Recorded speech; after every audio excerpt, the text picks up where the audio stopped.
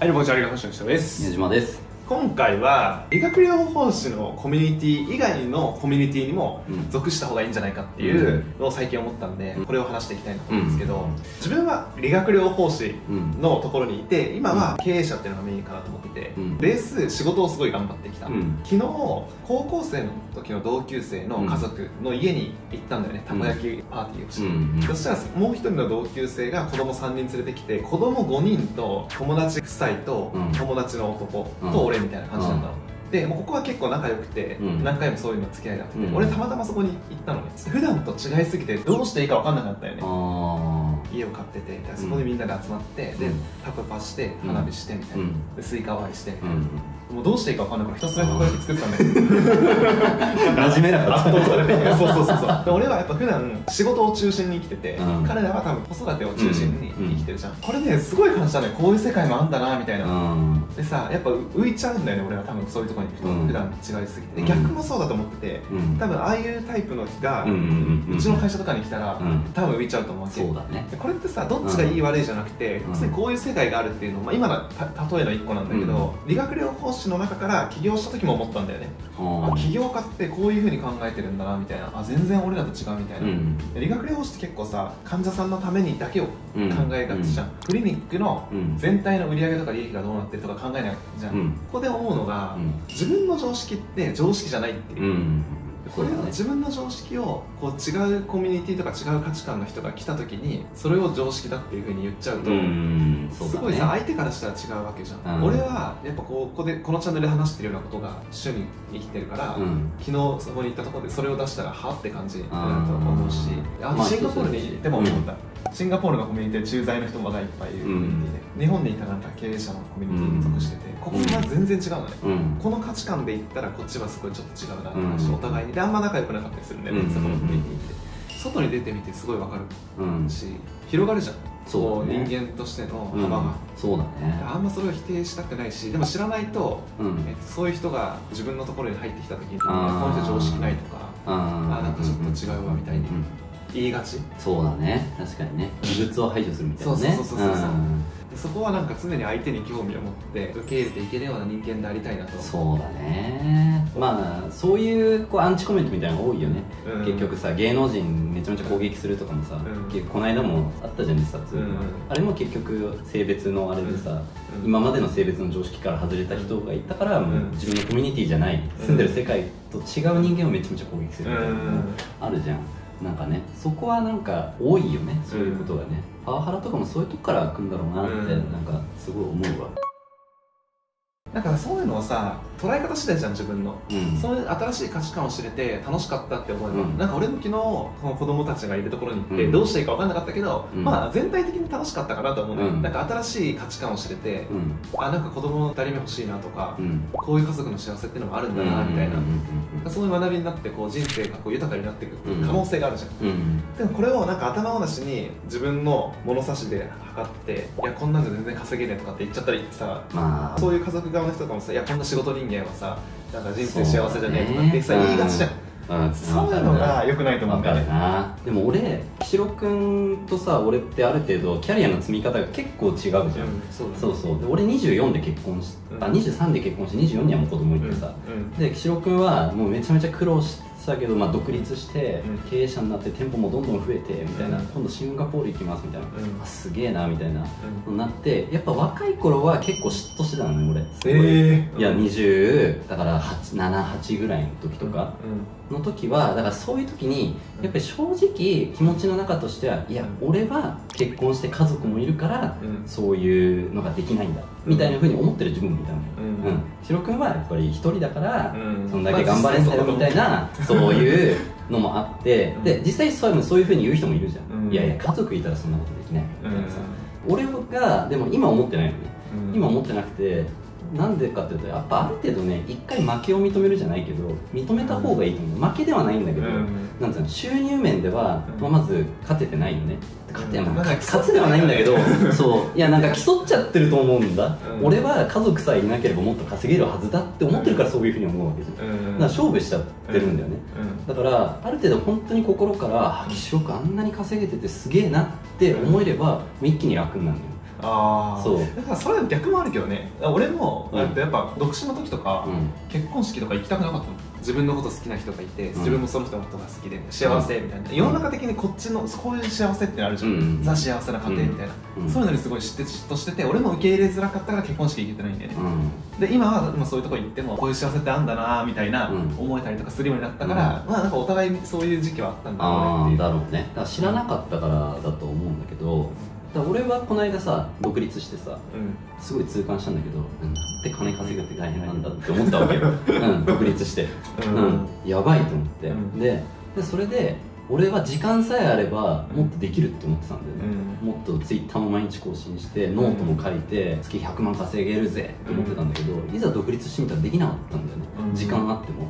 だからやっぱり体験してみるっていうのはやっぱ、うん。まあ、まず大事だよね、うん、うん、いや本当そう思う、うん。あそれで言うと俺もそうだね。子供結婚して子供生まれて、うん。クソ大変じゃんってこんなから独立するの無理だわって、うーん知らないっていうところがまずあれだから、でもやっぱさ怖いじゃん。俺今からさヒロ君がさあじゃあシンガポールのさちょめっちゃ偉い経営者紹介するからおいでよって言われたらさ多分そういう思考の人からしたらまたとないチャンスだけど俺絶対行きたくないもん。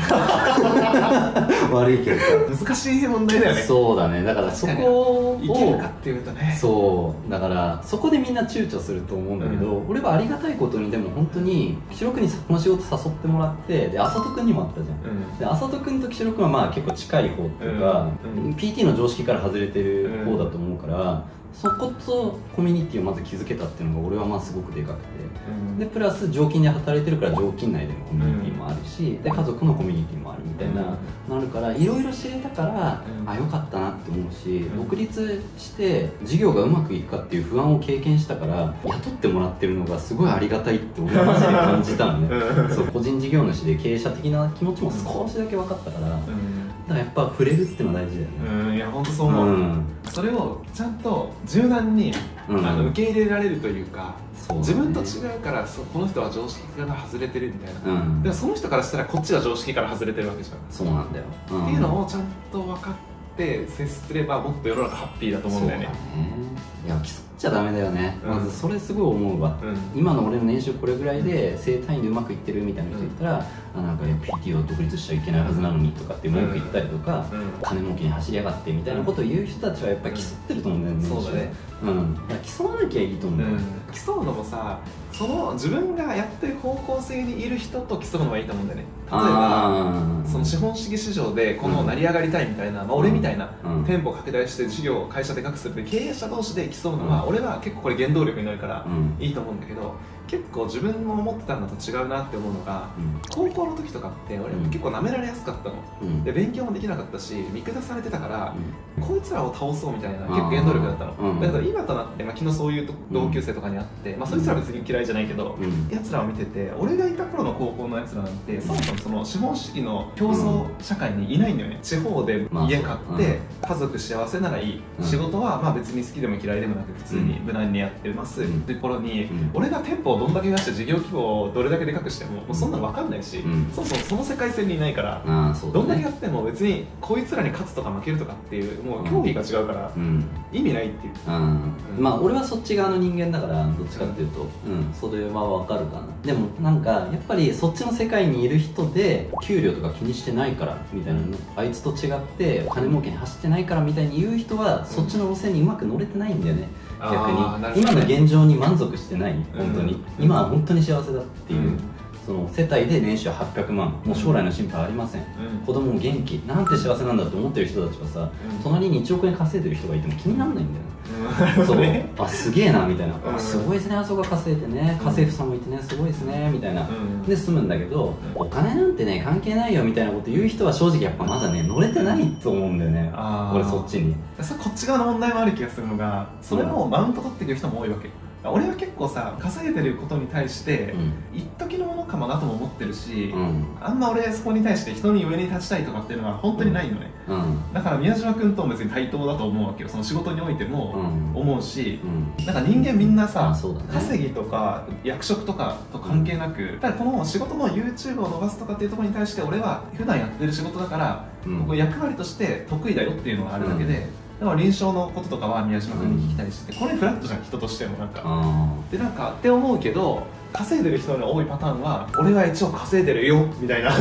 稼げないやつはカスだみたいなあそうそうそう。ねまああるよね。そういうのがいるからそうなっちゃうってのはあると思う。うんそうだね。結構多いと思うんだよね。日本の整骨院とか整体の経営者でなんて言ってますみたいなとこは本当そういう価値観だと思う。うん。ゴルフのコンペとか行くと、毎回マウント取られるしくっそって思うもんねそしてこいつらに負けたくねえわなんか明らかにこう日本の主要の経営者の人たち、うん。年商とか従業員何人いるとか、うん。店舗数何店舗ですみたいなのでマウント取ってくる人が多い。業界的にだと思う。多分業界的に。こああの俺らの業界の治療院経営者業界みたいな。うんやっぱ起業するってそういうマインドで起業してると思うから。ああでもね。ベンツ乗りたいとかカーマン住みたいとか。ああいやじゃないと無理かなって俺は思った。ある種必然なのかもねそうなるのは。そうだで俺はねそうなりたくないんだよね。稼いだとしても別にそれってたまたま自分の金稼ぐっていう能力が時代にマッチしてるだけで、これが原始時代だったら、うん。多分足が速くて力が強い人がヒエラルキーのトップじゃん、うん、うんってなるとなんか別にそのそこに行ったら俺なんて全然下の方だしさ、うん。これ運じゃん。どの時代に生まれたかだと思うからさ、うん。別になんか人には得意不得意それぞれあるわけだからさ、うん。たまたま俺は金を稼ぐのが得意だったっていうだけで。それは別に偉いわけでもなんでもなくて、うん。じゃあ家族っていうコミュニティに入ったらかなりさそれできないタイプだからさ。うんなんかちょっと戻っちゃうけどさ、う例えばシンガポールのさ、うん。そういう人たちとどうやって会ってんの？いきなりは会えないじゃん。元の知り合いじゃないからさ。そうだね。あ結構俺はなんか交流会に行ったりとかああ紹介の紹介とか。あーやっぱまずそういうところに出向くっていうね。勇気必要じゃない、まあねなんかそれは確かにこれも自分の特性でシンガポールに行ったのも浅田君がなんかたまたま世界一周してて4年がちょうど実家に帰ってたから、うん。で動画の件で電話したんだよね浅田君に、うん。電話してなんかそしたらなんかシンガポール行くよみたいなのがあった。からあじゃあ行くわと思って、うん。ちょうど日程あったから、うん。じゃあ行くって言ってその場で航空券取って行ってで現地のうん。コンサルとか会計事務所に行って、うんあこれ行けそうだなと思って嫁に電話して行くんだけど行こうよって言ったらいいよって言うからじゃあ契約しますって言って その場で契約してきたから 奥さんもすげえな。そう。奥さんと会ってみてえな。まあ話合わねえな。俺と。行くことに対してストレスないし別に決断することに対してもそんなストレスがない。うん。でなんか無駄じゃんそれ考えててもって思っちゃうから。あそう。でもこれは適正なんだなって。これ結構人に話すと本当アホだなって言われる。ーうん。ちょっと振り切れてると思うよ、だからさっき今何カ国か行って選ぶじゃんっていうとこにまず行かない人がほとんどだから。そうそう だよ。そうなんだよ。まず勢いでシンガポール行ってバーンって決めちゃうってなんかすごい極端でしょうじゃなくてそもそも海外に住んでみようって思うところからまず起床うん。うんまあね、うんそう。そうだよ定ね年後いつか住めたらいいなハワイに住めたらいいなぐらいに思ってる人が俺みたいな人だし、ほとんど。うん。まあ、俺は住みたいと思わないけど。それってさ本当人それじゃん、そうだね。例えばシンガポールとかに行ったら海外で住みたい人がの集まりだからさ、うん。育ちのいい人の集まりなんだよね、うん。あの学生時代に入学してて、うん。勉強できたから大手入って大手の中で競争が勝ち上がってだから、まあ、英語喋れない人がいないの、そこは俺すごい疎外感を感じるの。よ、ああの英語喋れなくて専門学校卒でみたいな、うん。で会社の名前も聞いたことないみたいな、うん。交流会行くと大体聞いたことある会社の、うん。大手の人だし、うん。エリートなのずっと、うん。そこの常識からすると外れてるじゃん。あで多分宮島君のその価値観っていうのはやっぱ理学療法士とか一般的な、こう、うん。コミュニティの人の考えじゃん。そうシンガポールに行くと、シンガポールに行ってみたいキャリア出世でしょみたいなうん。人たちじゃん、うん。どっちが常識かってそのいいる場所によるよなっていう。うんそうだね。そうそうだからそれを本当感じるんよね。うんだから俺は確かに PT 業界とか普通の人から比べるとちょっと変なんだけど。すごいなと思うでもだから価値が出るからねあのあえてそのコミュニティの中で外れ値みたいな行動をする方が金を稼げるかもね、うん。優秀な企業の中のうん駐在の人って、うん。他と違うことをやってるっていうのはでも希少性はそこまで高くないんだよね。そういう人がいっぱいいるから。うん。理学療法士がシンガポールに行くからシンガポールの中でも唯一無二の存在になれるし、なるほどね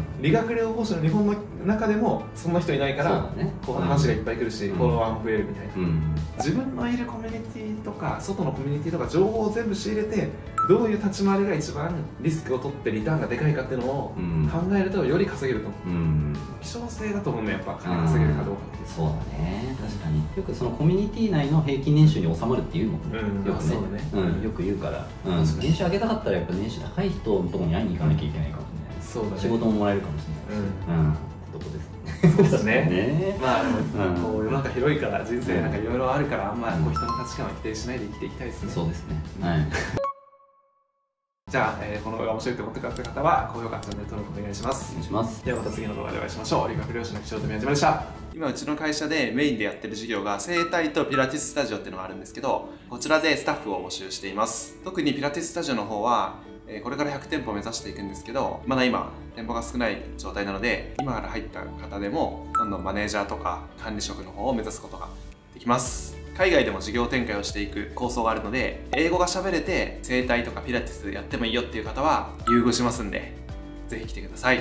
具体的には、えー概要欄に整体のリンクとピラティススタジオのリンクを貼っておくのでそちらに登録して詳細を確認していただければと思います。海外希望の方はどちらかの LINE で海外希望を伝えてもらえれば検討させていただきます。まずはお気軽に登録してご連絡いただければと思います。